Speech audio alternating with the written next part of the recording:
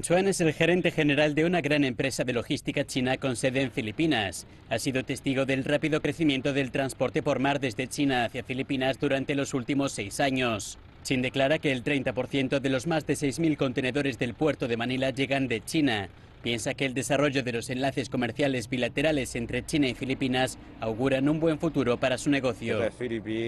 En Filipinas existen grandes oportunidades de inversión en infraestructura. China y Filipinas pueden cooperar más con los negocios chinos. Podemos ofrecer nuestras ventajas para ayudar al desarrollo de Filipinas. De tal manera, el comercio bilateral crecerá todavía más.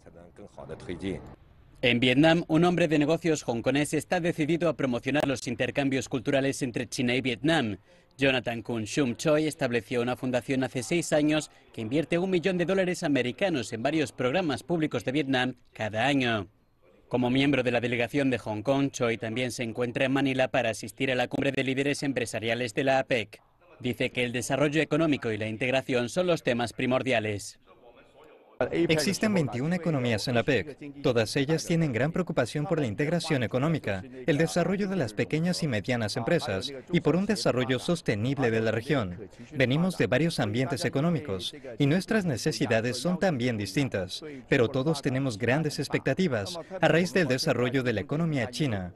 Todos creemos que la iniciativa de la Franja y la Ruta es una idea muy significativa y constructiva que impulsará el desarrollo de toda la región.